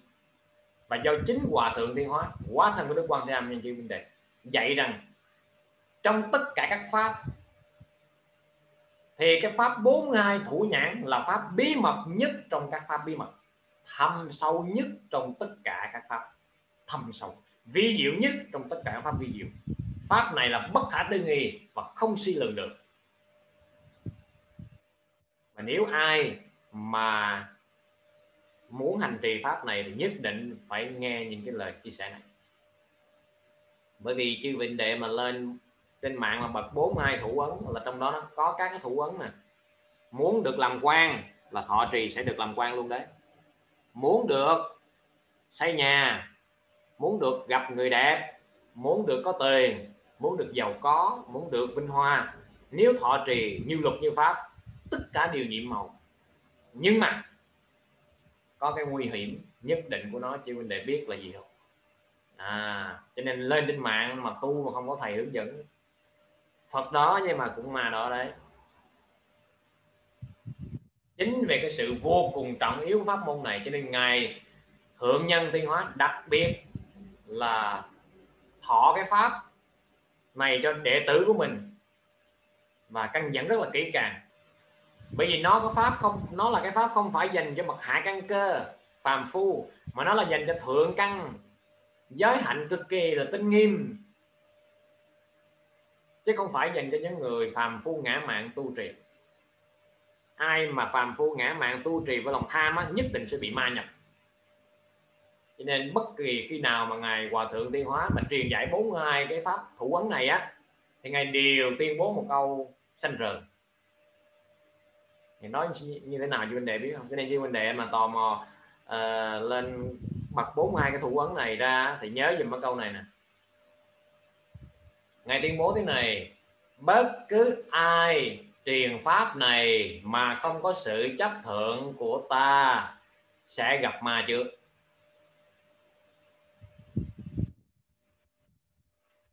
À con có những người bạn, chưa huynh đệ đã rơi vào rồi. Trước khi ngài tiên hóa nhập diệt nhập niết bàn, thì ngài có nói với ờ, đệ tử trụ trì của vạn Phật Thánh Thành ở bên Mỹ á là ngài là thầy pháp sư Hoàng Luật ngài nói là đừng để có 42 thủ ấn này bị diệt tận. Hãy tiếp tục truyền lại cho các thế hệ sau nhưng phải tùy người. À, chị huynh đệ. Nên chị huynh đệ lâu lâu mà học hay là được ai giới thiệu hay tự mình lên mạng mà có nhân duyên. Thì nhớ dùng một câu đó nếu mà muốn hành trì thần chú đại bi cùng với 42 thủ ấn này thì phải cẩn thận và phải có thầy hướng dẫn và phải coi lại có đủ nhân viên thiện căn phước đức. Bản lĩnh hay chưa? Nhớ luôn một câu ngày tiên hóa nói nếu không phải được ta ưng thuận thì sẽ bị ma dẫn đường quỷ đưa lối. Nhưng cần phải hiểu đúng về 42 cái lời thủ ấn này. Là bởi vì sao mà con nói 42 thủ ấn này vậy? Là hòa thượng tiên hóa ngày từng khai thị á nếu quý vị chỉ biết trì niệm chú đại bi mà không biết hành trì 42 thủ ấn này á, thì nó giống như là người có tay mà không có chân à. cho nên không thể đi được. Mặt khác, nếu quý vị chỉ biết hành trì 42 cái thủ ấn này mà không niệm chú đại bi á, thì cũng giống như người có chân mà không có tay. À. không làm được gì cả. Cũng vô dụng. Cho nên, tùy chú đại bi, trước hết quý vị phải thông đạt 42 thủ ấn rồi phải trì tụng chú đại bi nữa, thì mới mong là thành tựu rốt ráo cái pháp của chư Phật dạy cho nên người phàm phu của chúng ta học Phật phải hiểu được đây là lời khai thị dành cho bậc thượng căn cơ chứ vấn đề giới hạnh tinh nghiêm sức tu hành tinh tấn mạnh mẽ. Bởi không hiểu điều này chấp cứng vào đó thì chúng ta sẽ rơi vào hai cái trường hợp. Một là chúng ta không có được à, các vị thầy đạo cao đức trọng chứng đắc ấn chứng cho chúng ta hành trì các thủ ấn này thì chúng ta rất là dễ bị rơi vào ma dẫn đường quỷ đưa lối. Hoặc là chúng ta rơi vào cái trường hợp thứ hai. À, à ngoài tiếng hóa dạy thôi dạy dạy cho thầy thôi. Khỏi cần tìm đại bi nữa đi bởi vì à, giống như có tay mà không có chân có chân mà không có tay không có nhiệm màu. Dạ thưa không phải như vậy. Bồ tát tùy căn cơ của người mà khai thị chúng ta không thể dùng cái lời khai thị cho bậc thượng căn cơ mà áp dụng cho phàm phu chúng ta được. Rất là nhiều người chẳng biết chi về 42 thủ ấn này cả. Họ chỉ chí tâm một lòng thọ trì thần chú đại bi mà lợi ích bất khả tư nghị tụng chú đại bi cảm được ứng được vô số lợi ích không có kể xiết đâu chị huynh đệ à, vậy nên chúng ta cứ thọ trì thần chú đại bi mà không cần để ý đến 42 cái thủ ấn này. Đến khi ngặt nghèo quá và phải được sự chứng minh chứng chứng minh của một vị thầy nào đó đặc biệt chuyên sâu và thấu hiểu thì chúng ta hãy hành trì. À bằng bắt bỏ lòng tham vô thì dễ bị ma đưa đường quỷ dẫn lối lắm. Bởi vì nó sẽ thành tựu nó sẽ thành tựu nhưng mà nó thành tựu mà mình chưa sẵn sàng nhận những cái thứ đó thì giống như chơi uh, chơi bùa ngải nè. Mấy đứa nhỏ được gọi là kuma thon chứ anh này biết không? Thon tức là vàng kuma tức là đứa con trai nó bị chết yểu. Ở bên thái á, đẻ nó ra nhưng mà nó đẹp quá nó chết sớm nhưng mà rất là linh. Mấy người hà nội rành cái này lắm. Và nhờ nó để chi? Mua may bán đắt rồi sao? Nó quật lại, nó quậy tan tật mình phải xứng đáng. Mình không xứng đáng thì sao? Những thứ mình nhận nó làm mình khổ chứ hiểu cái này chứ. Cho nên bốn ngày thủ ấn mà cộng với thần chú đại bi nữa, thì chúng ta sẽ nhận được những cái thứ mà giống như chúng ta trúng số vậy đó ha. Trúng số xong mà tay xe chết luôn phải cẩn thận. Học thần chú phải cẩn thận. Nên tóm lại khi nào mà ta thành tựu được cái việc uh, thọ trì mật mật ngữ chân ngôn thần chú khi mà sự nhất tâm và lý nhất tâm à, chúng ta phải được cả hai xử lý. Thân phải thanh tịnh khẩu phải thanh tịnh ý phải thanh tịnh trong khí tụng. phải trí tâm và phải thành tâm. À. và đây là những câu chuyện nhiễm màu, có thật. Nhất là những câu chuyện của con. Bản thân con không muốn kể, nhưng vì trong khóa tu này, kể cho mình để nghe. Cái này muốn nghe không? Cái chùa Quan Âm ngoài Đà Nẵng mới đây, cách đây chưa được à, hai, ba tháng con đi ra ngoài đó có chút Phật sự. Vào trong cái hang động của chùa con Âm ở Đà Nẵng. Khi vào thì con xuống ngồi đảnh lễ mẹ con Âm và trì năm biến đại bi trước. Nhưng mà tâm con rất là tò mò đi vào trong hang động đó. Đi vô sâu và lội xuống ở dưới suối. Cái dòng suối ở trong đó cái à, động quan âm đó là chị huynh đệ biết. Không có được vô sâu không có xuống rửa tay, rửa chân, vô quậy phá đó. Tính của con là con muốn đi tới đường cùng. Luôn và con thọt chân xuống dưới nước luôn. Và trong tâm của con lúc đó là đã nghi ngờ mình cái hành động này là không đúng. Nhưng mà con muốn coi đến tận cùng của cái hang đó là gì, nhưng mà ở dưới là nước sâu thâm thẳm. Bởi vì cái đó người ta có thể từ hang động đó mà ra tới biển luôn. Ngày xưa người ta nói rằng à, bên bên khi mà chiến tranh thì lương thực được đưa vào từ biển và từ cái hang động đó. Và nó thông tất cả các cái ngũ hành sơn, các cái dãy núi ở đó. Và chưa có ai tới giờ mà dám vô đó hết trơn. Con vô đó thì sâu cái chừng con ra, ôi trời, cái đầu nó tán vô cái hang núi, nó đau kinh khủng và rưới máu nhưng mà để biết gì không? Lập tức, lúc đó, có một ông chú đâu không biết. À ôm cái đầu con. Và đọc vài câu thần chú. Làm vài cái bộ phép gì đó không biết. Lúc đó cũng có ông thầy ở chùa đó đi với con nữa. Con đâu có lả luôn.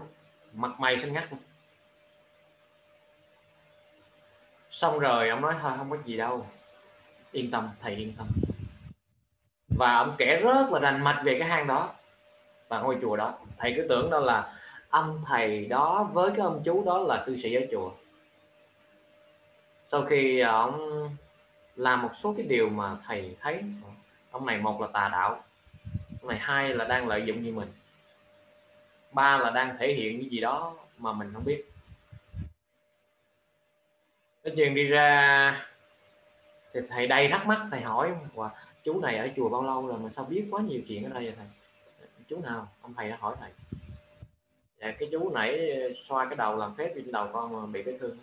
Không chú đó tôi đâu có biết đâu. Con nghi nghi rồi tôi chừng ra khỏi hang động. À nhìn lên khỏi hang động nhìn vẫn còn thấy ông ở đó. Con để ý nhìn qua nhìn lại khác là ông mất tiền trong lòng con đã nghi. À, vì con đã từng có một trường hợp như vậy và cũng được nghe kể lại như vậy. Một trường hợp tương tự đắc điện tha đắc điện tha. Một vị quá thân của đức quan thế con muốn kể dài nhưng mà những chuyện này nó nó không nên kể nhiều đến đại chúng để cho đại chúng biết rằng ngay cái lúc đó đầu con không còn rỉ máu nữa, khô ra một cách hoàn toàn giống như là không có gì diễn ra hết.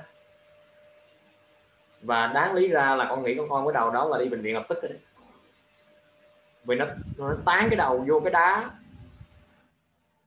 không có diễn tả được. Giống như có người xô mình vậy, phạt mình vậy mà nó đau kinh khủng. Nhưng sau khi bước ra khỏi hang động thì mọi thứ nó rất là bình thường. Và đặc biệt nhất là công chú không có nữa. Nhưng huynh đệ sẽ biết là trước cửa hàng nó rộng mênh mông thôi, đứng mà quan sát thì không có thấy. Thì chuyện diễn ra là mình thấy liền. Nhưng mà cái kiến thức, cái hiểu biết, cái lòng từ, cái hành động của người đó lên cái đầu của con khiến cho con vô cùng là có một cái cảm giác rất đặc biệt. Nhiều lần đi chùa từ lúc nhỏ. Dạ thôi xin phép chuyện này không kể. À thì con xin phép kể những câu chuyện khác.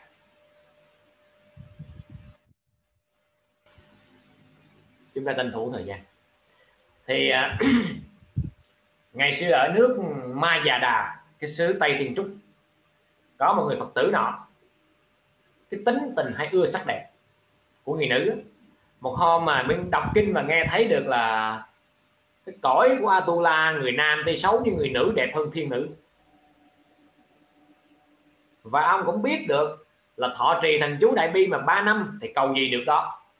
Và ông quyết là bế can bế quan, tỏa cản 3 năm hành trì thành chú đại bi, quyết gặp người đẹp. Uhm. và 3 năm đã xong đi theo cùng với một với ông cùng với uh, ông và một đứa đệ tử đi theo. Đến chỗ một cái núi mà ông nghĩ rằng ở đó sẽ có thể thực hiện được lời nguyện của mình. Thì đến nơi ông nhiếp tâm mà thọ trì thành chú. Bỗng nhiên cái hang đá mở ra thành một cái cửa. Trong đó là lộ ra một cung điện nguy nga của quỷ thần. Và có quỷ thần canh giữ đặc biệt nghiêm mật. Và vị phật tử này liền bước tới nói ra cái bổn nguyện của mình. Tôi đã thọ trì thần chú đại bi 3 năm. Phật có dạy ước gì được đó. Nay tôi muốn cùng với thần nữ Atula kết duyên vợ chồng. Xin mấy ông vào thỉnh ý giùm tôi. Ngon là năm cho nên mấy anh đi cầu vợ mà muốn có vợ đẹp á thì 3 năm vô chùa tu xong về nhà có vợ đẹp. Đó là truyền thống của Thái Lan ấy. Đi tu rồi về nhà dễ gả vợ gả chồng hơn. Cái người giữa cửa mới vào tâu lại với Atula nữ thì cô ta đáp thưa lại với hai người là ta chấp nhận. Nhưng mà chỉ thỉnh người trì chú vào còn người kia thì tạm đứng ngoài đó. À, ra tâu lại nhìn thấy thầy mình đi vào người đệ tử và tự nhiên cửa đá đóng lại, người đệ tử bàng hoàng, giống như là mới tỉnh một giấc mộng vậy. Xong rồi khởi một cái tâm rất là mãnh liệt, tính tâm với cái chuyện tâm linh, quay về từ đó, cũng tu hành luôn. Mà không biết ông tu vì, ông muốn giống thầy ông không nữa. Đó là một câu chuyện có thật.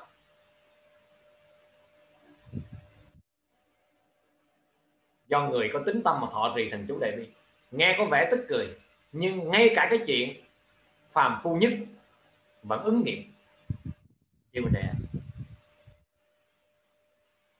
ở đời nhà Thanh bên Trung Quốc, có ông đó tên là Ngô Giảng Thăng ở Quy Châu, huyện Hấp lúc trẻ, thường qua lại buôn bán. Một hôm, có dịp đi qua cái địa phương đó tên là Hồ Khâu tình cờ gặp một vị tăng đang quá trai, tức là đang đi khất thực ấy. Thì vị tăng này mới nhìn chăm chăm vào cái anh chàng này và nói rằng, anh có căn lành, nhưng mà tiếc quá là đến 29 tuổi là bị nạn phải chết đắm, chết nước các chị này anh nghe tá quả, sợ kinh khủng, thì mới cầu phương pháp để giải thoát. Thì vị tăng mới trầm ngâm một lúc rồi nói rằng từ đây về sau ông giữ giới cấm đừng có sát sanh mà hãy phóng sanh. Niệm phật và đặc biệt trì chú đại bi thì may ra có thể cứu được. À. Cái câu chuyện linh ứng thứ ba là cầu con được con như nguyện. Ở trong cái cuốn à, khuyến giải loại sao người họ phùng, ở đông hương. Ông này cũng là người trung quốc. Đời đời tu nhân tích đức nè. Làm quan lớn, nhưng mà nhiều năm không có con. Giống như hoàng hậu Maya vua tịnh phạn, cũng đi cầu con. Thì họ đi cầu con. Về sau họ được một bà lão, một lão tăng vậy là hãy trì chú đại bi cho miên mật và hết sức kiền thành một hôm thì họ, thì cô vợ mới thấy một bà lão bê hai đứa con trai. Một là đứa gầy, hai là đứa béo. Bà đưa tay nhận cái đứa béo thì rớt xuống chết. Và lão tăng nó mới nói là đứa còn lại là con của nhà ngươi. Và sau khi sinh đứa bé đó ra, khôi ngô, tuấn tú và hiếu thảo mẹ cha làm quan lớn. Tức là con này là con gì? Con của phật, của tiên. Con cũng có hai vị đệ tử. Họ trì thần chú đại bi, sinh ra hai đứa con. Đứa con trai rất là đặc biệt. Rất đặc biệt à theo cảm ứng thiên đồ thiết ở đời nhà thanh tào thành tú gặp một vị tăng bảo rằng nếu ngươi có thể bỏ thịt bò bỏ thịt chó làm lành lánh dữ thì ngươi sẽ hiển đạt lớn. Ông tú mới nói là tôi là hạng người bằng cung.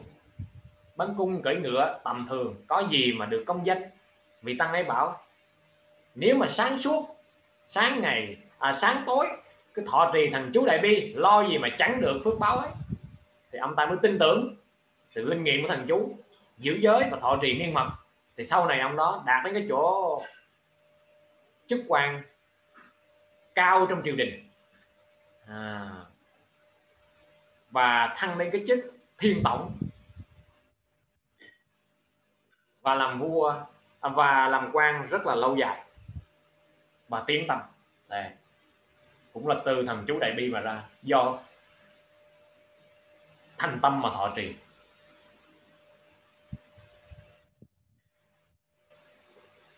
Và đây là một câu chuyện cũng có thật, theo như là báo ứng lục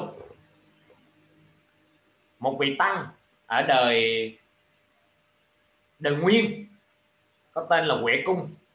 Ông bị bệnh bao tử, không ăn uống được, một đêm. Ông mộng thấy có một con mèo chui vào trong bụng và từ đó cái bệnh của ông nó càng nặng và ông lại thèm ăn cá. Ông tự biết đây là nghiệp báo, nên mới phát tâm niệm danh hiệu của Đức Quan Âm một vạn câu và ngày trì đại bi thần chú 108 biến và về sau ông thấy một đồng tử áo xanh xách cái giỏ đựng một con gà đi đến và con mèo ở trong cái miệng của ông nó tự chui ra.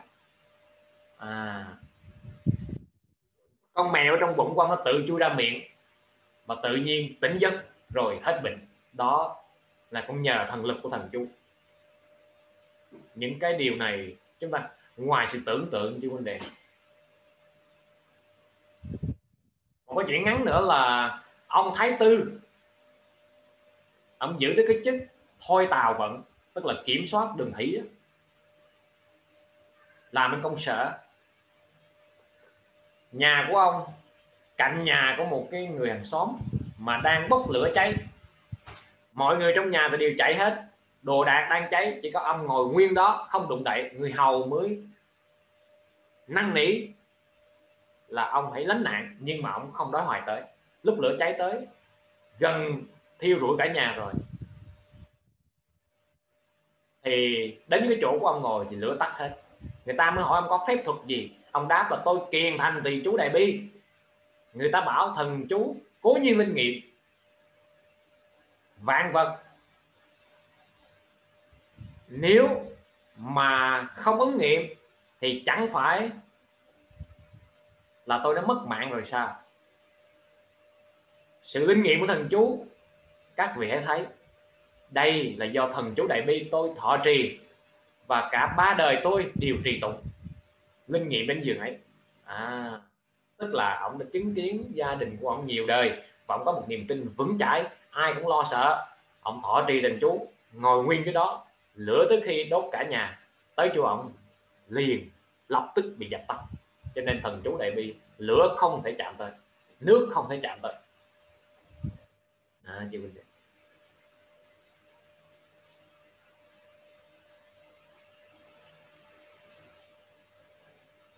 câu chuyện cuối cùng. Một đời đường. Có ông Lý Hân, thọ trì thần chú đại bi.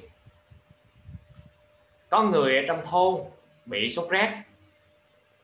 Dây dưa không khỏi. Ông Hân này đến chơi, thấy vậy, thọ trì thần chú đại bi. Vì thì ông thấy một con quỷ vụt bỏ chạy ra khỏi nhà. Quỷ mới nói ta vốn muốn đến trả thù nhà họ lý nhưng mà chẳng dám đến nữa. À. thì nơi quê của ông Hân này phát sinh một cái loại dịch bệnh và em gái của ông cũng chết trong cái nạn ấy. Cái thân của cô gái còn ấm nhưng mà người nhà chưa có chôn. Mấy bữa sau cô chợt sống dậy và nói là, nói lại là thoạt đầu bị mấy người dẫn với gò mã muốn làm nhục. Nhưng mà lúc đó một người trong họ nói rằng đây là em gái của một người thọ trì thành chú đại bi. À. Và nếu mà hắn trở về hắn dùng thần chú đó thì chúng ta sẽ bị hại lớn. Thôi thì thả về thì hơn. À, nghe như vậy xong cô ta tỉnh dậy và từ đó thoát được cái chết, cải tử hoàn sinh. Tức là người thân mình. Nếu mình thọ trì thần chú đại bi miên mật cũng cảm ứng che chở đến cả người thân thương trong gia đình chị Vinh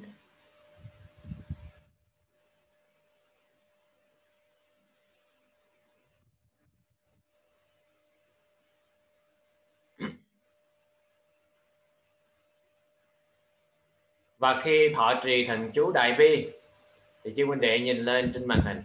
Thọ trì nên lớn tiếng, thì sẽ có được 10 công đức. Không ăn quá lớn, nhưng mà đủ lớn.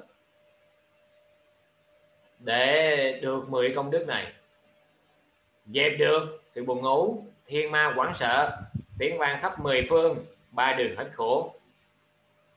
Tiếng đời chân lọc vào tai, lòng không tán loạn giống mảnh tinh tấn chư Phật vui mừng ta muội hiện ra trước mặt, ta muội tức là định tĩnh ấy. và ván sanh về tịnh độ Đây.